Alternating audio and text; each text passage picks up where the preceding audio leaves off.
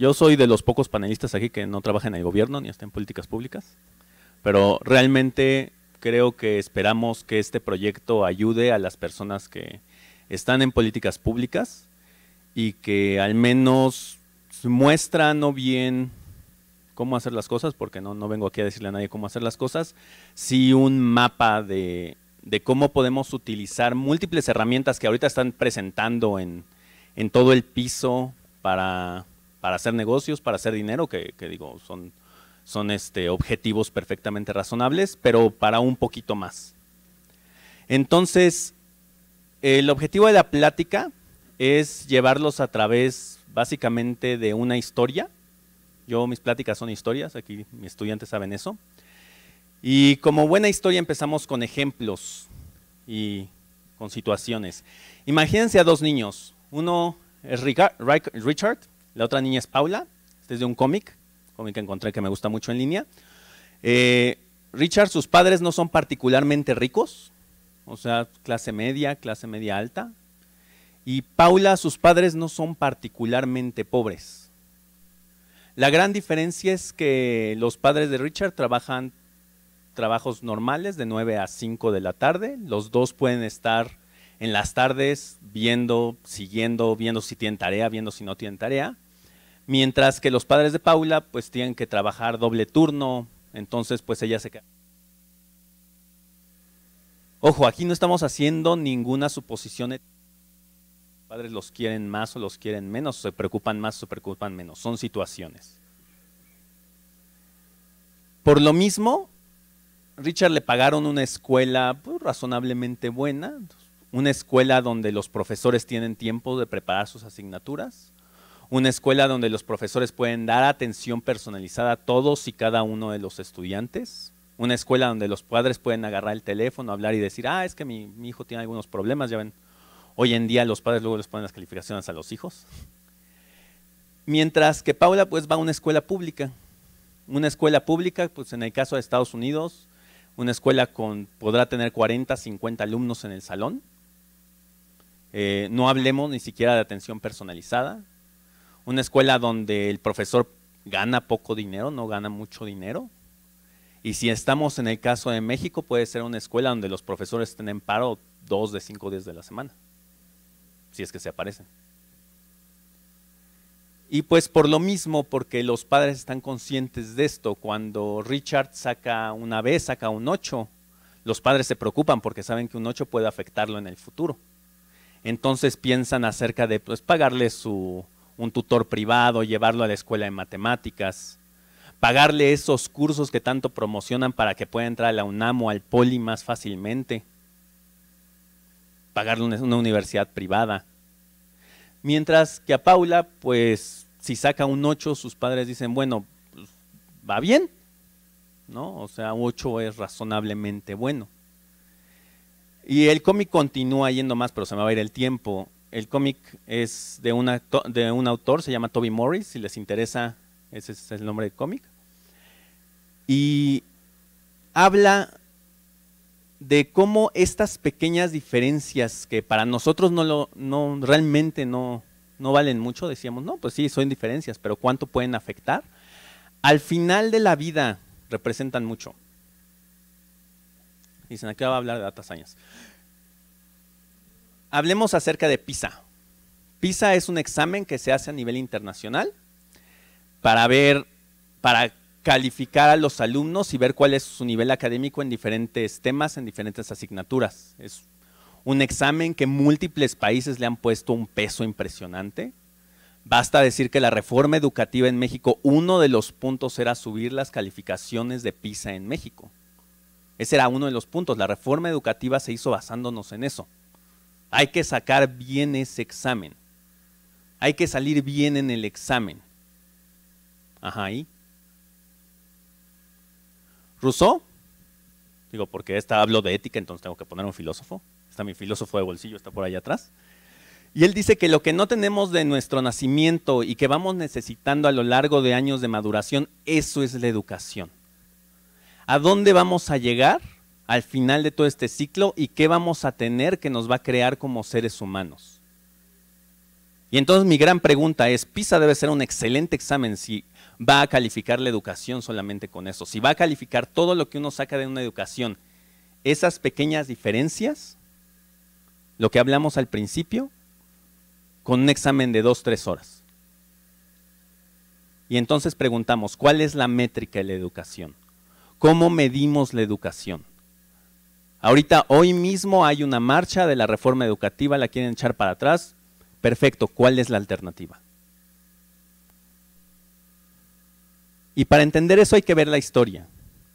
Y hay que ver cómo cuando un chico entra a la SEP, entra a su educación básica, toma matemáticas, toma historia, toma deportes, después de eso pasa la prepa, sigue la educación superior, puede elegir la educación pública o puede elegir la educación privada. Todas y cada una de estas decisiones, con qué maestros tomó las clases, a qué hora tomaba las clases, todo esto va a influir al final.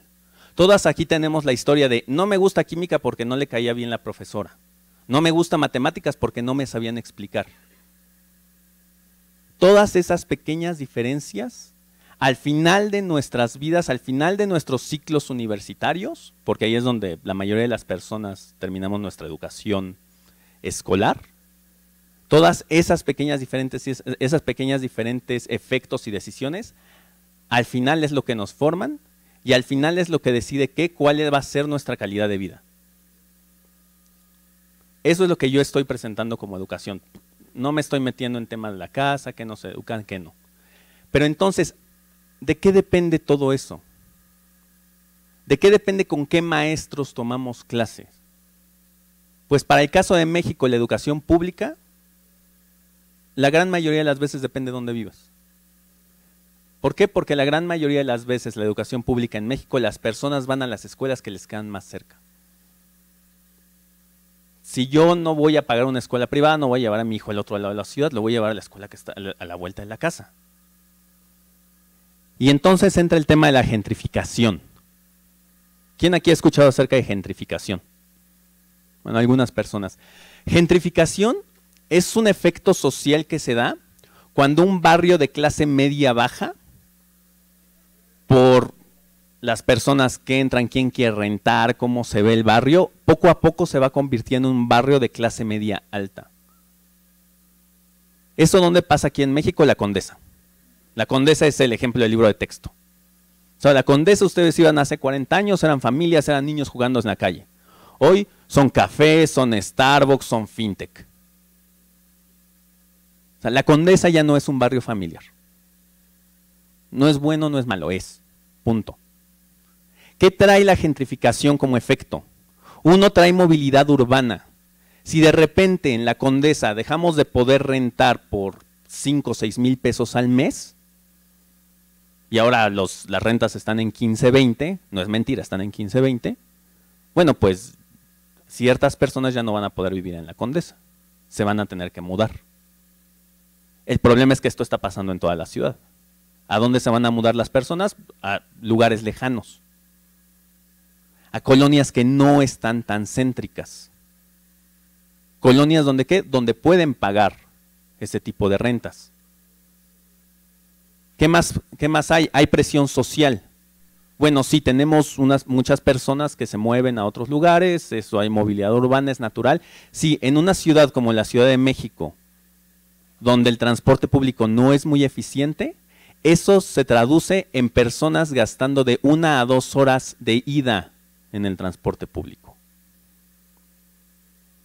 Eso se traduce en personas trabajando un mes gratis solamente para poder transportarse. Ese es el efecto de la gentrificación. Y obviamente el último efecto, el cambio en el ADN social de la colonia. De ser una colonia familiar, una colonia con hijos, tenemos una colonia de gente joven, eh, gente que tiene solamente un hijo si es que llega a tener hijos, y negocios, diferentes tipos de negocios. Esto yo no lo hablo al aire, aquí viene la parte de data science, aquí viene la parte de utilizar los datos. Este es un mapa, son datos libres del INEGI, que muestra la diferencia de habitantes desde el 2000 al 2010 en las diferentes colonias de la Ciudad de México. Entre más oscuro es, quiere decir que la cantidad de habitantes, de ocupantes por habitación ha subido, y entre más clarito es, quiere decir que ha bajado. En todas las colonias del centro hay menos gente por habitación. Hay menos personas. Y estoy casi seguro que en el nuevo censo va a estar aún más blanco si se puede. ¿Y qué les está pasando a las zonas aledañas? Tienen más gente. Esto de movilidad urbana no es algo filosófico, no es algo así, ah, sí, imaginamos que es eso, no son hechos, y ahí están datos del INEGI. Ese cambio existe y esa movilidad está existiendo. Es que siento que hay más tráfico hoy en día en el sur, sí, porque el sur se está llenando de gente. Y tiene dos vías fuertes de comunicación. Y entonces, si tenemos este tipo de datos y nos interesa la gentrificación, bueno, vamos a usar Machine Learning, vamos a usar algoritmos poderosos para predecir qué colonias se van a gentrificar. Para hacer un índice que te diga del 0 al 1, qué tan probable es que la colonia donde tú vives se vaya a gentrificar. ¿Por qué? Porque eso te afecta a ti, porque van a subir tus rentas. ¿Qué datos vamos a utilizar? Vamos a utilizar datos de movilidad, como el que les acabo de enseñar. Ese es uno de tantos. Datos del costo promedio del metro cuadrado. Creamos un estimador que nos dice por colonia cuánto cuesta el metro cuadrado. ¿Qué otro tipo de datos? Cantidad de habitantes, cuántos habitantes hay en la colonia, cuántos habitantes hay en la casa, etcétera, etcétera, etcétera. Pusimos escolaridad de las personas, número de niños por habitación, número de gente adulta, tomamos encuestas de ocupación, encuestas de negocio, cualquier cantidad de datos que no terminaría aquí de enumerarlos ni de explicarlos. No tengo el tiempo, no tienen las ganas. Y al final tenemos esto. Es un algoritmo que ustedes les meten todos los datos de las colonias hecho a la medida para la Ciudad de México. Esto por eso no se puede traer a otras partes del mundo. No puedo agarrar una de las herramientas que están aquí afuera y clavárselo aquí. No, esto se tiene que hacer, eso se tiene que hacer en casa. Donde tenemos una escala de qué tan probable es que la colonia se gentrifique o no. Y ahí están las colonias que uno podría pensar que son las sospechosas comunes. Está todo el centro, la Juárez, la Roma Sur, Santa María de la Ribera. Mi familia es de Santa María de la Ribera, nadie vive ya en Santa María de la Ribera, no les alcanza la Cuauhtémoc. Y poquito a poquito así vamos viendo todas las colonias. Una colonia que llama mucho la atención es la Doctores. La Doctores está a un buen cuerpo policíaco de distancia para gentrificarse. Y es la verdad. Se ríen, pero es lo que pasa. En Nueva Orleans era una colonia que tenía también un índice muy alto, pero no se terminaba de gentrificar. ¿Por qué? Por los planes de tipo de alojamiento que tenían con rentas congeladas. Llegó Katrina, destruyó Nueva Orleans, del día a la mañana la ciudad estaba gentrificada. Porque la casa ya no existe, ya no tengo que respetar el contrato de renta. Y entonces la gran pregunta es, empezaste hablando de educación, ¿cómo es, cómo es la educación pública en estas colonias? Hablé de presión social. Si tú te mudas de una colonia del centro en tu escuela con tus amigos, no vas a seguir yendo a la misma escuela. Tus padres no van a viajar dos horas solamente para dejarte en la escuela. Así empecé la charla. Lo que menos tienen los padres es tiempo. Para esto, eh, siempre hablo de nosotros, ¿no? pero en realidad esto lo hizo una persona muy capaz. Eh, escrapeamos datos de una página web donde vienen todas las direcciones de todas las escuelas, resultados en sus exámenes y opiniones de las personas. Esto es para escuelas públicas y privadas en México, secundarias, preparatorias y primarias. Para todo. Y entonces, esto con los otros datos que teníamos de gentrificación, nivel social, precio por metro cuadrado, pudimos crear una gráfica donde ahí se ve clarito, o sea, yo no tengo que decir gran cosa. Entre más cuesta el metro cuadrado en la colonia, mejor salen los alumnos. ¿Cuál es el outlier? La Cuauhtémoc. ¿Por qué? Porque la Cuauhtémoc es carísima y pocas personas mandan a sus hijos a las escuelas privadas. ¿Qué quiere decir eso? Tú vivías en la Condesa, estabas en una escuela razonablemente buena, se gentrifica, no puedes vivir ahí, automáticamente tu hijo tiene menos oportunidades. Eso pasó. ¿En pos de qué? Movimiento social. Volvemos a la pregunta, ¿cuál es la métrica de la educación? Que el chico salga bien en los exámenes, a lo mejor va a salir bien en los exámenes, en los de su escuela. Eso no nos garantiza que va a entrar a una buena universidad y que va a tener un buen futuro. Y entonces, hablando de universidades, mucho se dice, es que faltan universidades, vamos a construir nuevas universidades. En México hay 5.000 universidades. Es uno de los países con más universidades del mundo. Para que se den una idea, Estados Unidos, un país con tres veces más personas, tiene 4.000. China, un país con 10 veces más personas, tiene 3.000. Universidades no faltan. El acceso a la educación como tal no falta, es la calidad. No faltan escuelas.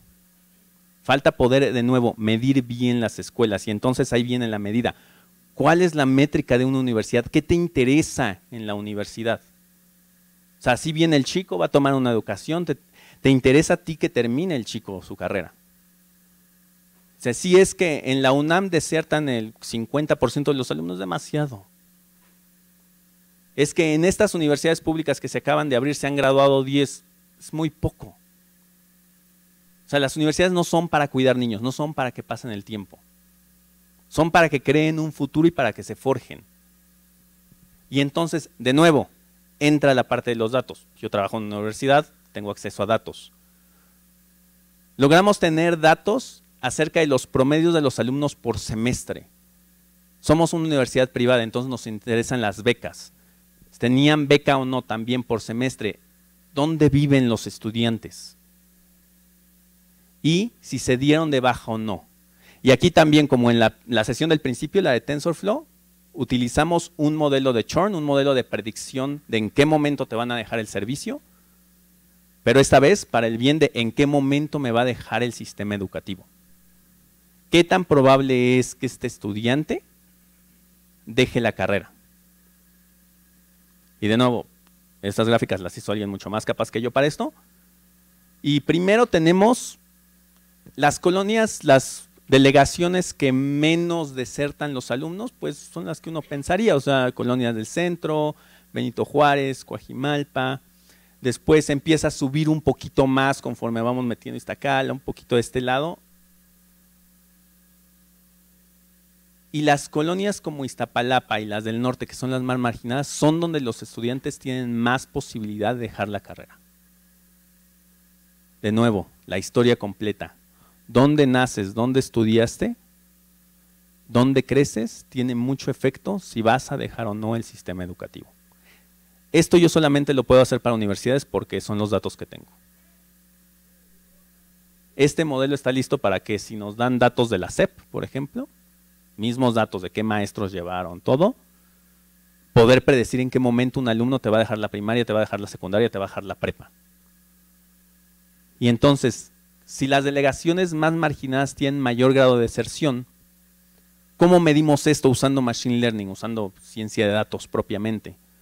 Pues creamos un estimador, creamos un algoritmo de churn, un algoritmo que me va a predecir un 1 o un 0 en qué momento el alumno me va a dejar la escuela. Y entonces hicimos dos modelos. Uno, no vamos a utilizar el metro cuadrado, no vamos a utilizar el precio del metro cuadrado. Vamos a ver qué pasa.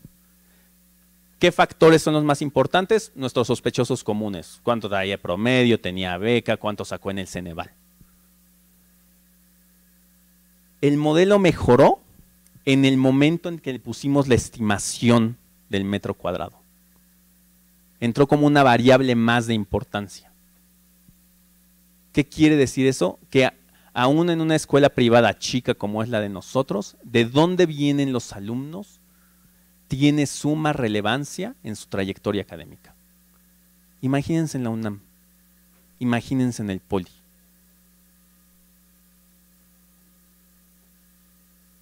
Entonces, la historia, básicamente, para cerrar, tenemos los indicadores del precio, ya sabemos que los indicadores de precio por metro cuadrado y los promedios de prepa son razonablemente buenos para predecir la deserción en la universidad. Sabemos que el promedio de la prepa está fuertemente influenciado por el lugar en donde viven. Y sabemos que el lugar de donde viven es sumamente vulnerable a la gentrificación. ¿Y quiénes son las personas vulnerables a la gentrificación? Los que rentan, los que no tienen para comprar una vivienda. Y entonces, ya para cerrar mis pláticas, por ejemplo, son cortas para que pregunten mucho.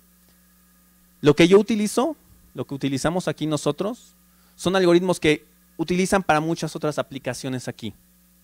Estimación de precios. Si utilizamos un algoritmo y tenemos un algoritmo que nos dice cuánto va a costar el metro cuadrado en la Ciudad de México. Y les puedo asegurar que ahorita yo hago público eso, empresas inmobiliarias me van a venir a tocar la puerta. Sí, también tenemos un algoritmo que nos predice si se va a gentrificar en el futuro. Las mismas compañías van a venir y me van a volver a tocar la puerta y un algoritmo que nos predice cuál va a ser la deserción. Todas las escuelas privadas van a decir, pues sí, me interesa que mis alumnos no, me, no desierten. Pero yo lo que estoy haciendo y lo que estamos haciendo nosotros como equipo es usando todos estos algoritmos que son sumamente monetizables y los estamos usando para algo más. O sea, una idea de la plática es compartir la información y la otra tuve la suerte de que hay personas de gobierno aquí. Entonces, si alguien nos puede facilitar o nos puede ayudar a tener datos de la SEP, datos de la UNAM, la UNAM tiene la historia de vida desde que entran algunos a la secundaria. No está haciendo nada con eso.